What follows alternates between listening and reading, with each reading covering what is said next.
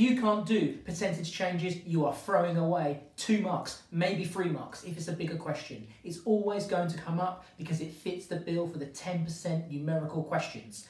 Percentage changes, the thing you need to remember, the tip is new. The reason why is because new stands for new number minus old number divided by old number times by 100. New, new minus old over old times by 100 because it's a percent. Let's go through a question. So we've got revenue total costs and we know that revenue minus total costs equals your profit, your net profit in this case. And that's one side of the column. And here we've got 2018 and 2019. 2019 is clearly further in the future, so that would be the new number. 2018 is the old number, so that helps with the new. Let's go. So revenue, if revenue is 100 million and total costs are 70 million, then it makes sense that net profit is 30 million. And on the other side, if revenue in 2019 is 110 million and total costs are 72 million, then it makes sense that the net profit is going to be 38 million.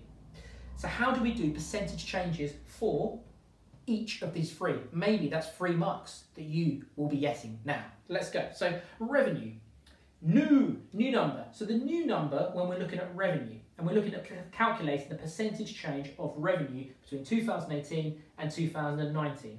Well, we take the new number. The new number is going to be the future number, so 2019, the latter number, that's the new number, and that's 110. So we put 110 in there, and then we minus the old number, the old number being the previous year, 2018, the old number is 100. So 110 minus 100 divided by your old number, so just divide it by 100, and then because it's a percentage, we need to times it by 100, so times by 100, and if you do the maths on that, it comes to 10. That's 10%, don't forget the percent.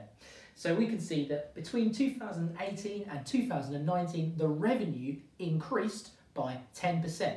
That's a good thing, revenue is increasing. So let's now do total costs. So remember, new, we take the new number for total costs, that's going to be 72 million because that is 2019 and then we minus off the old number the old number is going to be the previous year so that's 70 million. 72 minus 70 divided by the old number being the previous year that is 70 million. 72 minus 70 divided by 70 times by 100 get a calculator quickly do it and you'll find that it comes to 2.9% and that's to one decimal point 1 dp you see it there so total costs have increased by 2.9%, which isn't a great thing. However, it's actually going to turn out great for your profit because your revenue has increased by a greater percentage. Your revenue has increased by 10% per year. That's a fantastic thing.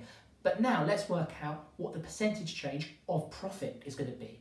So again, we follow the same process. We're going to do new. So it's the new number. The new number for profit is 38 million. And if we take off the old number, the old number is 30 million, that's from the previous year, divide it by that same old number from the previous year, which is 30, so 38 minus 30 divided by 30 times by 100, and that's going to come to 26.7% to one decimal place. So that's fantastic, and the reason why that's increasing at such a faster percentage rate is because you've got revenue increasing, but total cost isn't increasing as quick as revenue. And when you think about profit equals revenue minus costs, that's the reason why it's brilliant if you've got revenue moving at a quicker percentage change than your total costs. I hope that helps with percentage changes. Make sure you slap down new because that's so important. It's guaranteed to be two or three marks in the paper. I hope you're enjoying these videos and I'll see you at the next one.